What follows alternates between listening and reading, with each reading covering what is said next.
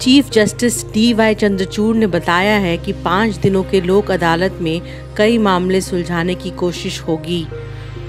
विवाह और संपत्ति तथा मोटर गाड़ी संबंधी मामले सुप्रीम कोर्ट के लोक अदालत में निपटाए जाएँगे।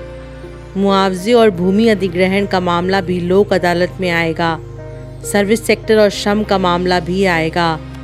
29 जुलाई से 3 अगस्त तक सुप्रीम कोर्ट भी लोक अदालत लगाएगा। सुप्रीम कोर्ट बड़े ही मित्रवत वातावरण में अनौपचारिक ढंग से मामले को निपटाएगा। जानते हैं कि लीगल सर्विसेज़ अथॉरिटी एक्ट के तहत भारत में लोक अदालत वैधानिक है।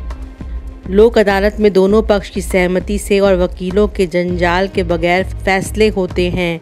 अभी नई बात यह है कि सुप्रीम कोर्ट भी अपने कई मामलों को लोक अदालत में सुनने की शुरुआत कर रहा है। इस तरह अवकाश प्राप्ति के पहले के कुछ महीनों में जस्टिस डी वाई चंद्रचूड़ ने अच्छी शुरुआत की है। सुप्रीम कोर्ट में कई मामले वर्षों से बहुत साधारण वजह से लंबित चल रहे हैं। Chief justice D Y Chandrachud ने ये पहल ले ली है। अदालतों के पेंडिंग केस को कम करने के लिए लिया है।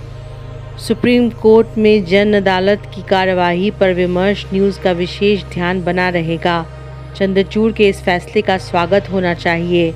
इसी के साथ ये ज़रूरी है कि चंद्रचूड़ से अपेक्षा की जाए कि देश भर के ज़िलों में विचाराधीन कैदियों के रिहाई के सुप्रीम कोर्ट के निर्देशों पर अमल करवाने की कोशिश करे।